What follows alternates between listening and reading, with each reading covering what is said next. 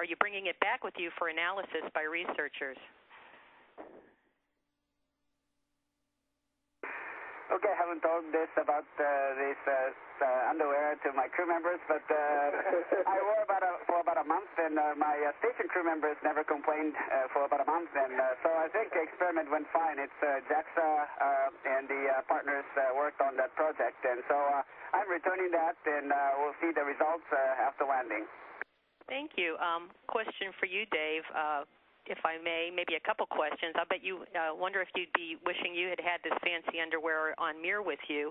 And speaking of Mir, um, I was wondering if you could sort of describe the two space stations. Um, I know that they're night and day, but so many astronauts have come back and said there are similarities. Um, the smell, maybe the sounds. Uh, could you comment?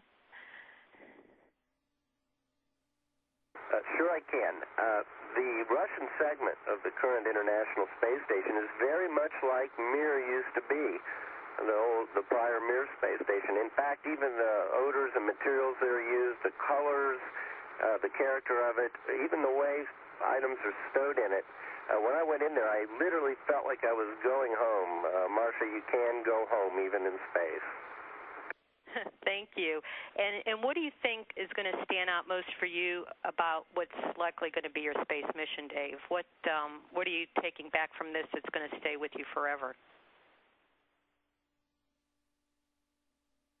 Well, lot of things. I, we watched uh, some rookies evolve into very talented professional astronauts, and uh, I guess when you get a little further down in your career here, that becomes uh, as important as the spectacular views and the flying itself, and even spacewalks.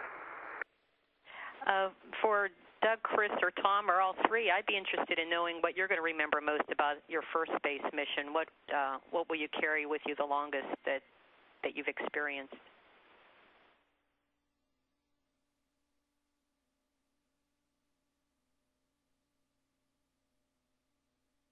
Well, for me, it, it's going to be the whole uh, uh, community, sort of uh, the social part of being on the space station with 13 people. I just thought that was a fantastic experience. The, the operational and technical things were wonderful as well, but the part that you can't train that I didn't expect was uh, just the wonderful time that we had on the space station with our colleagues.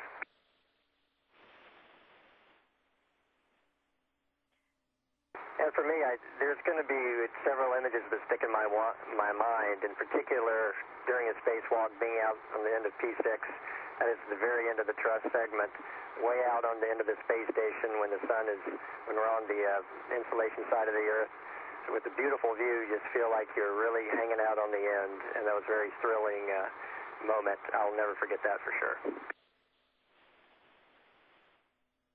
I guess for me, uh, that the few times that we had where we just didn't have anything on the schedule and we're just sitting around kind of laughing and telling stories and jokes, uh, they just seem a little funnier up here. Thank you. Um, and maybe f- for anyone to comment, uh, you did have 13 people in a spacecraft for the first time. How did that go um, in retrospect? Uh, were you did did it feel crowded? Um, maybe ideally would a few fewer a few fewer people been a little better? Um, tell me about that.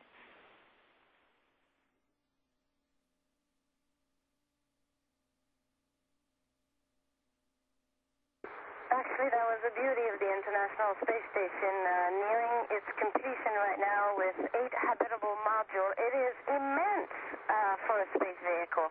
So often when you would float from the space shuttle through the tunnel into the space station, you'd see a crew member in almost every module as you continued on from the uh, U.S. segment to the Russian segment.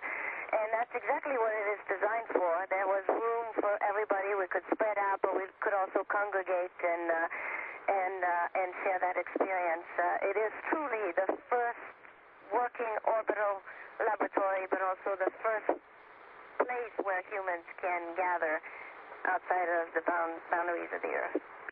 Was it, Julie? Uh, last question for you. Was it was it hard for you to leave? Was it uh, a little bit of sadness saying goodbye to um, your fellow Canadian and the others on board, um, or was that e- an easier transition for you than you thought?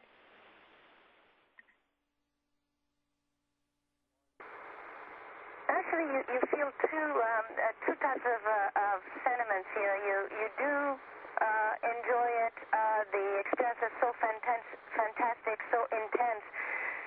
You'd like also to experience a longer duration mission. I think that is where we're going in the next few years, and it's important to find that out if we one day want to go on a really long voyage like to the planet Mars.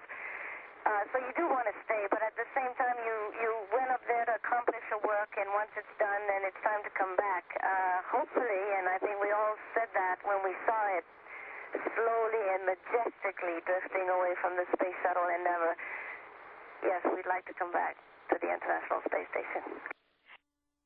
Well, gang, you're going to come back home supposedly tomorrow. Uh, give us a little thoughts on what, I mean, the trip home always seems the longest, doesn't it?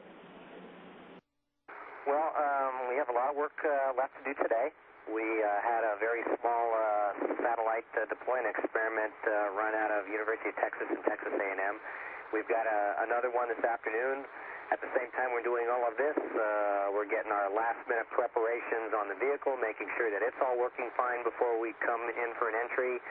And, uh, you know, what you do is you, you take a, a spaceship and you turn it into an orbiting home for a couple of weeks, and then at the last minute you tear it all down and make it ready to come in and land. So that uh, actually takes a, a lot of work to do, and we'll get that and uh, talk about tomorrow, and then uh, weather permitting, uh, we are all looking forward to uh, entry and landing at Kennedy Space Center.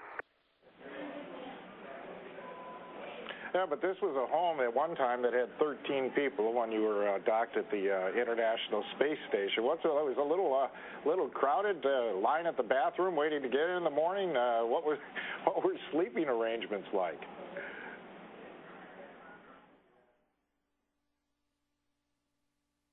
Well, it's actually a lot more crowded now than it was while we were docked. Uh, we've got uh, uh, a huge amount of space on the International Space Station uh, with all the different modules. Uh, it was kind of fun. Folks uh, spread out all over the space station. Some slept in the Russian uh, segment, some slept in the Japanese uh, module, some slept in Columbus, some slept in the U.S. lab, and then uh, a few of us stayed on shuttle. So it was actually really nice. We uh, didn't feel crowded in the least, and I think if you ask everyone, they'd have the same answer. On, uh, you were able to accomplish quite a bit. It was what uh, five spacewalks uh, between crew members and such. Give us a little idea of what you were able to do up there during this trip.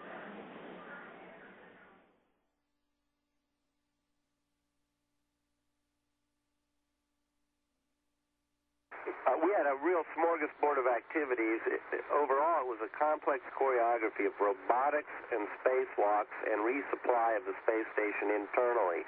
We we uh, did a repair on a, a deployment of a platform. We installed the ja- final components of the Japanese module for Koichi's uh, Japanese space agency. We installed batteries on the P6 arrays that had been there oh, 10 years or changed out. We put several very large spare pieces of equipment that will allow the International Space Station to go quite a few years into the future. And, uh, oh, what else, guys? Uh, that's the main idea. It was a very busy, complex choreography, very satisfying to conduct uh, with the whole team. Oh, and we also we bring, we're bringing Koichi here home, and we dropped off Tim Kopra as a new space station crew member. That's pretty important. Who uh, who is uh, who the first time in space for them on this mission? Is, is anybody a rookie here?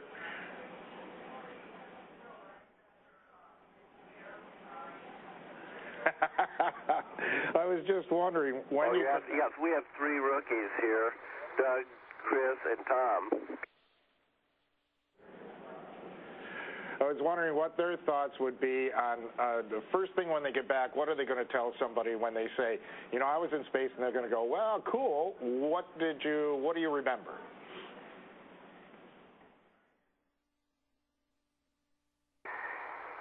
Let's see. Uh, first thing I'm going to tell them is what what a what a cool place the International Space Station is. I mean, it's really neat to be inside it, and I had the unique opportunity to go to climb around on the outside as Dave kind of sent me on the wild goose chase, ch- chasing after different uh, pieces of equipment.